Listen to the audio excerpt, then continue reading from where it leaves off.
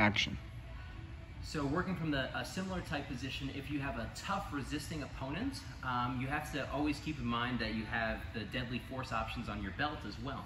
So if we're here and we're trying to look for um, that similar handcuffing position and my gun being on my dominant side, on my right side, what I'm gonna do is I'm gonna keep my hand below his arm. I'm gonna slowly work this arm up so that if he reaches for my gun, it's really hard for him to uh, get anywhere close to reaching that deadly force. What I'm gonna do is, uh, Lennon, put some resistance with your hand. When I feel the resistance, I keep my hand on the floor. And then when he uh, releases and lets go, then I take a couple more inches from him. Then he um, pushes down again, I take a couple more inches from him.